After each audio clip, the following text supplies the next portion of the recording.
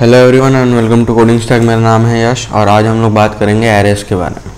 अब हमारे पे तीन टाइप के एरे होते हैं। एक होता है वन डी एरे दूसरा होता है टू डी एरे और तीसरा हो, ती, तीसरा होता है तीसरा होता है मल्टी डायमेंशनल एरे और एक और टाइप का एरे भी होता है वो जैक्ड एरे होता है। जैक्ड एरे एक एक करके इन सब चीज़ सब पे बात कर लेते हैं। पहले एरे क्या होता है? अब एरे क्या होता है? कलेक्शन ऑफ़ बॉक्स होता है। इस टाइप से बॉक्सेस बने होंगे और वो एक साथ जुड़े हुए होंगे। ये बात याद रखना है कंटिन्यूस स्पेस में होते हैं एक साथ। आप एक बार ही डिफाइन कर दोगे कि आपको इतना जगह चाहिए, आपको उतना जगह इस फॉर्मेट में मिल जाएगा। और इसका इंडेक्सिंग होता है आपका ज़ीरो से स्टार्ट और अगर टोटल आपका साइज़ एन है, यानी इसका लास्ट इंडेक्स होगा एन माइनस वन ये होगा one two and so on इसमें आपका हर एक इंडेक्स रहेगा। तो इसको बनाते कैसे हैं? आपका एरे बनाने का तरीका एक ये है int a equals to new int bracket में फोर एक ये तरीका है। ये वाले ब्रैकेट जिसमें फोर लिखा है, मैंने इसमें आपका साइज़ आएगा। अगर आपका साइज़ आप यूज़र से ले रहे हो तो उसको आप एन में स्टोर कराओगे। जब एन में स्टोर कराओगे तो वो एन यहाँ पे रख देना।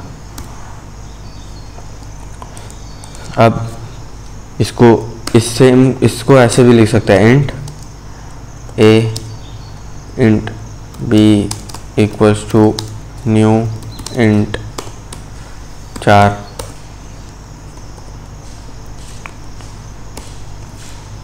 अब ये होगी डिक्लेयर करने की बात कि आप एरे को कैसे डिक्लेयर कर रहे हो। हम बात करते हैं कि एरे को कैसे आप डिफाइन कर रहे हो। तो आप लिखो डिक्लेयर कैसे करें?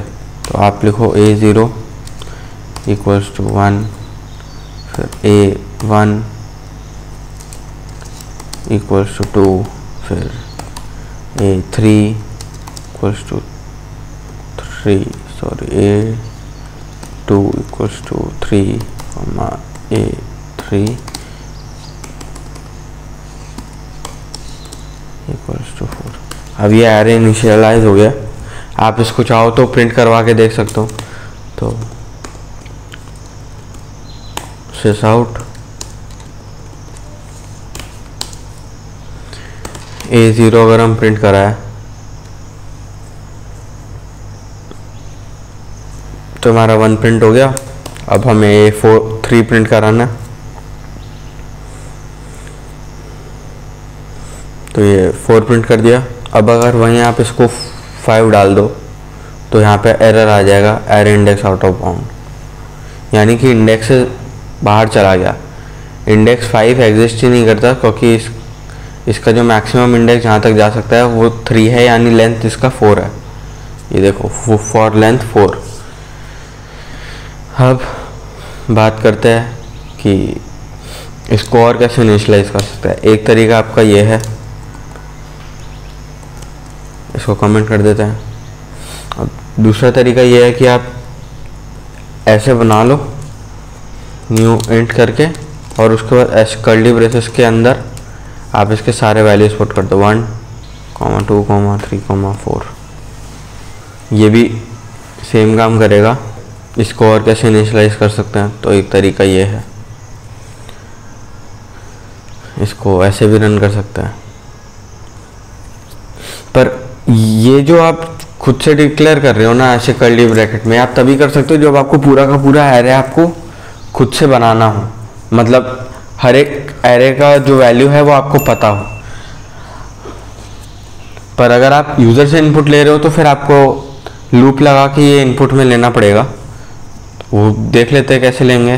तो scanner s c equals to new scanner system dot in अब आप एक काम करो।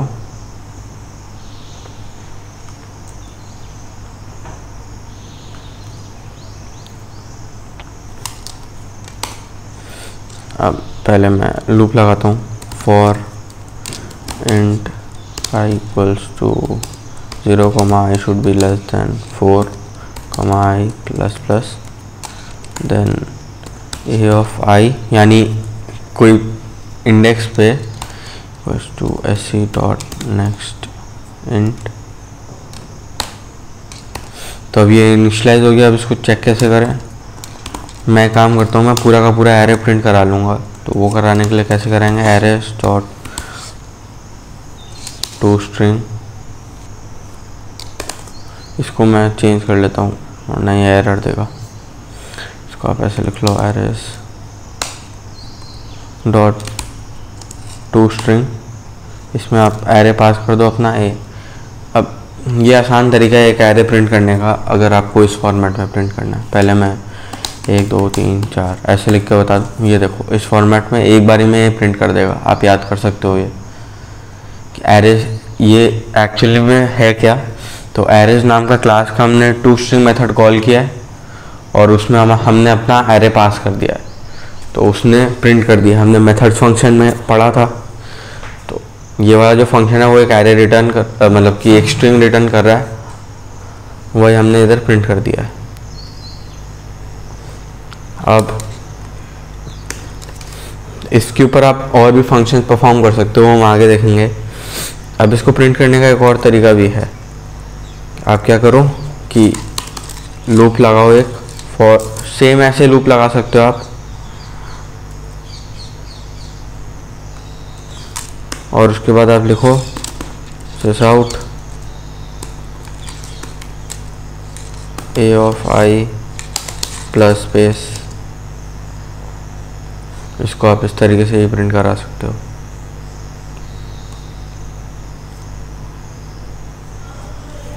वन टू थ्री फोर तो ये प्रिंट हो गया। अब इसका एक और तरीका, आप एक इंट आई कर लो और फॉर ईच में ये लगा के एरे पास कर दो। मतलब कोनों लगा के एरे कर दो। तो ये क्या करेगा? इसका मतलब है for each element i in array a where i is an integer इसको आप रन कर लो। और सॉरी ये गलत हो गया। आई अब आप करो। वन टू थ्री फाइव तो ये प्रिंट हो गया। अब हम बात कर लेते हैं। टू डी आर बारे उसके पहले ये बात बता दूँ कि ये वाला जो तरीका अभी मैंने बताया, इसको एनहेंस फॉर लूप कहते हैं या फॉर ईच लूप कहते हैं। दोनों में से कुछ भी कह सकते हो। अब टू डी एरे के लिए आप क्या करो? सेम ऐसे इंट ए इंट ए, फिर वापस ये equals to new equals to new int two three अब आपने ऐसे ले लिया। इसको एज इट इज़ रहने देते हैं।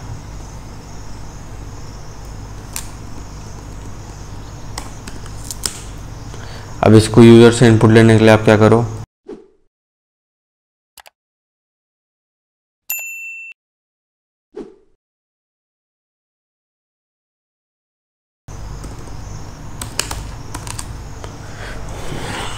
तो अब ये ये वाला जो पहला है ये आपका बताता है नंबर ऑफ़ रोज़ और ये वाला बताता है नंबर ऑफ़ कॉलम्स यानी ये रो हो गया और ये कॉलम हो गया.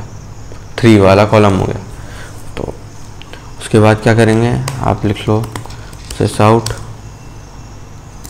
arrays dot to string इसमें आप ए आई पास कर दो. और उसके पहले आप ये वाला लूप लगा दो।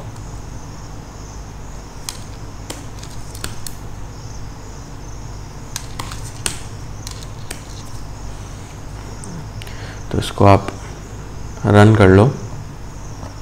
Let's say one two three four five six तो ये आपका एरे हो गया। टू डी एरे है ये, यानी मैट्रिक फॉर्मेट में। अब इसके थ्रू आप बहुत सारे मैट्रिक्स के फ़ंक्शन कर सकते हो, जैसे एडिशन सब्ट्रैक्शन अब आती है बात जैक डायरे के बारे में। उसके पहले इसमें भी फॉर ईच लूप का मैं कॉन्सेप्ट देख लेते हैं। फॉर इच कैसे लगेगा? For int i for a then आप लिखो for int j in i and this out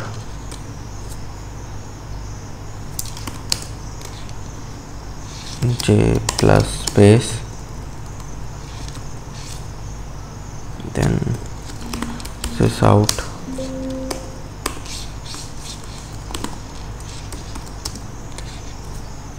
अब इसको रन कर लेते हैं। मैंने लिखा one two three four five six तो ये आपका एरे प्रिंट हो गया। अब इसका मतलब क्या है? ये एरे टू डी है तो सबसे पहली बार हम खाली एक चीज़, एक एक पार्ट को ट्रैवर्स कर सकते हैं। तो पहला पार्ट क्या होगा? जो इसका वन डी एरे है, यानी नंबर ऑफ़ रोज वाला। तो हमने उसको यूज़ किया, उस उसके बाद क्या किया हमने? हर हर एक रो में कितने कॉलम बन रहे? तो उसके लिए एलिमेंट को जे माना और वो हमने इस पहले वाले एरे पे इसको हमने एक एरे माना, इसको हमने एक एरे माना। According to this and then हमने जे को हर एक एलिमेंट माना और जे को प्रिंट करते चले गए उसके बाद जब पहला एरे ख़त्म हुआ तो हमने एक नया लाइन प्रिंट किया, उसके बाद दूसरा एरे प्रिंट किया। ये हो गया आपका बात टू डी एरे के बारे में। अब हम एक और चीज़ कर सकते हैं कि इसको इनिशलाइज करने के लिए हम ऐसे भी कर सकते हैं।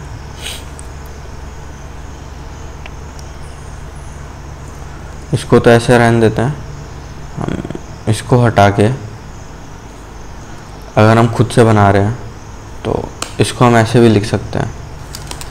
P इक्वल्स टू उसके बाद क्या होगा? वन टू थ्री, फिर कॉमा, फोर, फाइव, सिक्स।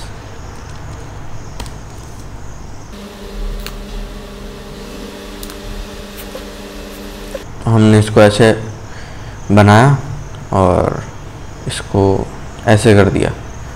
अब जैक डायरे की बात करते हैं। जैक डायरे क्या होता है कि नंबर ऑफ़ कॉलम्स हर एक रो में सेम नहीं होंगे. एग्जांपल एक एरे आपका ऐसे है. One two three four five six seven eight nine ये एक एरे आपका ये है. अब आप ये कैसे बनाओ? उसके लिए तरीका एक तो यह है कि इंट ए इक्वल्स टू सीधा ऐसे बना दो. One two 3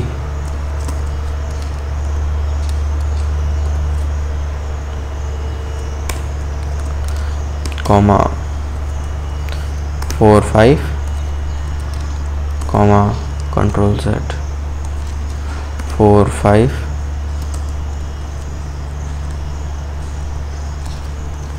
and then 6 7 8 9 एक तरीका आपका ये है।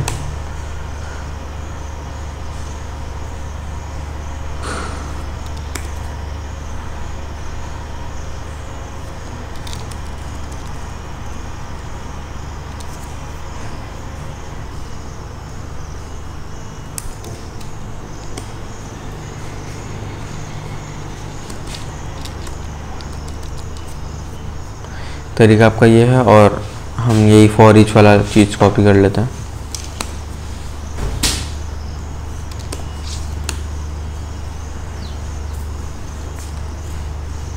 इसको प्रिंट करा लो। तो ये हमारा एरे प्रिंट हो गया। पर अगर हमें यूज़र से इनपुट लेना है तो हम क्या करें? तो उसके लिए एक तरीका बताता हूँ कि आप बना लो int a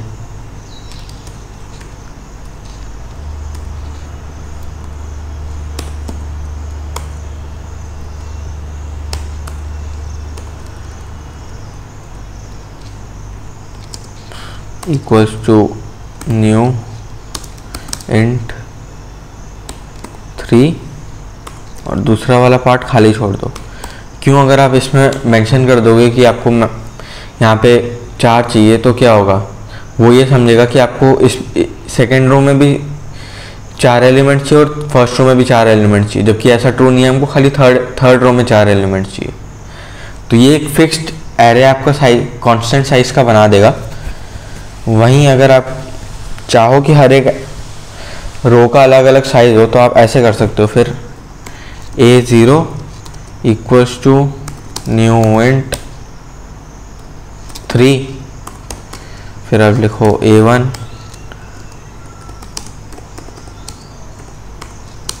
equals to new to new into. And a2 equals to new int 4 इस तरीके से आप एरेस को बना सकते हो। ये एरे को ऐसे जैक्ड एरे को ऐसे डिक्लेयर कर सकते हो। फिर आप नॉर्मल नॉर्मल फॉर लूप लगा के आप हर एक वैल्यू इनपुट कर लो और स्टोर करके प्रिंट करवा लो। अब मैं आपको एक होमवर्क देना चाहूँगा, आप खाली ट्राई करो। आपको मैंने मैंने आपको दो एरे दिया है। टू डायमेंशनल एरे है। One two three four five six और एक एरे है आपका seven eight nine ten eleven, twelve. तो अब आपको इन दोनों को ऐड करके इसका आंसर प्रिंट करना है और आपको इन दोनों को मल्टीप्लाई करके इसका आंसर प्रिंट करना है। अब आपको मैट्रिक्स मल्टीप्लिकेशन का कॉन्सेप्ट पता होगा। आपने टेंथ, इलेवन, ट्वेल्थ में पढ़ा होगा। और अगर नहीं पता तो एक बार गूगल कर लेना कि दो मैट्रिक्स को मल्टीप्लाई करने की बेस्ड कंडीशन क्या होती है, कि मस्ट कंडीशन क्या होती है, नीडेड, और उसका आंसर कैसे आपका निकलेगा। उस हिसाब से आप ये दो क्वेश्चन को सॉल्व कर लेना। आपका ये जो एरे है, वो यूज़र से इनपुट होगा और नंबर ऑफ़ रोज और नंबर ऑफ़ कॉलम्स भी आप यूज़र से इनपुट लोगे। इसका सॉल्यूशन मैं आपको अगले क्लास में बता दूँगा अगर आपसे नहीं हुआ तो पर ट्राई करना, आपका कॉन्सेप्ट बेटर होगा। बाकी मिलते हैं नेक्स्ट वीडियो में। वीडियो अच्छा लगे तो लाइक शेयर और सब्सक्राइब कर दीजिएगा। कोई भी डाउट हो आज के लेक्चर में या पहले के लेक्चर में तो कमेंट सेक्शन में पूछ लीजिएगा और आप क्वेश्चंस प्रैक्टिस करते रहिएगा। अब तो ये एक मेन टॉपिक आ गया है एरेस इसके ऊपर मैं आपको डेली कुछ ना कुछ असाइनमेंट देता रहूँगा और भी आगे अच्छे टॉपिक्स हैं एरेस से रिलेटेड जैसे बाइनरी सर्च हुआ सॉर्टिंग एल्गोरिदम्स हो गए, ये सब के बारे में पढ़ेंगे और इनसे रिलेटेड क्वेश्चन करेंगे। Bye bye